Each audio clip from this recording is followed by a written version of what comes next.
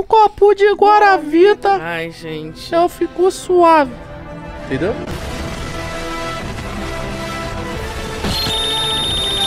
Não, não vou pro hospital, meu truta. Fazia uns vídeos, a gente colocava a sua música. Nossa, o Júlio, mano, o Júlio usava muito essa música na. Tô usando crack. Primórdios. Tô usando. Eu lembro que a primeira vez que eu vi, eu falei, que música maravilhosa. Isso é eu queria saber se as músicas elas são histórias reais.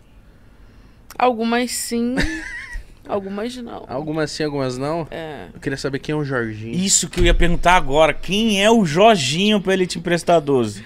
Cara, o Jardim é fictício. não existe.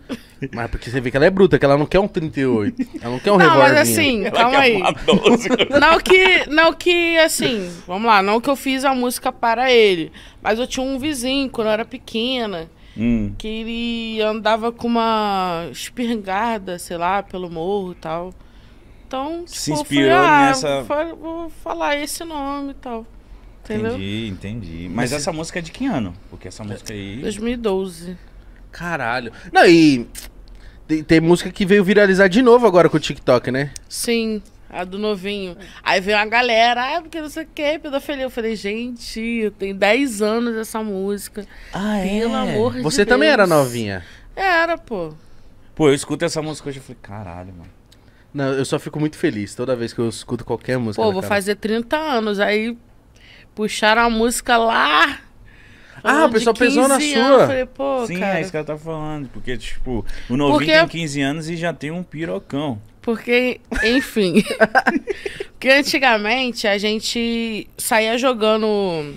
Fazia várias. Todo dia. Eu, eu morava no estúdio, né? Eu vivia no estúdio. Que tinha lá na minha comunidade. Aí, tipo, todo dia tinha alguma frase, alguma coisa, a gente ia jogando no. Num site aí, nem sei qual é o site. Aí toda hora surge uma parada. E vai surgir mais, porque. Porque fazia Inspirações. música todo dia. É, a gente jogava. Aí vinha um DJ, produzia, a gente ia ouvir no baile. Ah, então você nem. Não era que, tipo. Era uma, uma coisa que você fazia e o DJ pegava e falava, mano, isso aqui é muito foda, eu vou fazer uma montagem em cima. Então você nem sabia o que o cara podia fazer com essa música. Não, e vai aparecer ainda coisa aí. Vai.